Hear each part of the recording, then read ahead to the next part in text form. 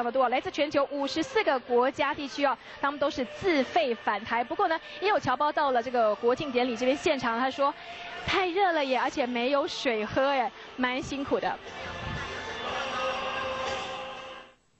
哎呀，是啊，凶乱。对呀，对呀，对呀。他水让你们觉得很困扰。啊，当然啦。在哪个点？啊啊，不晓得在哪个点发。都没有说啊，没人知道啊。晒好久啊，晒昏了。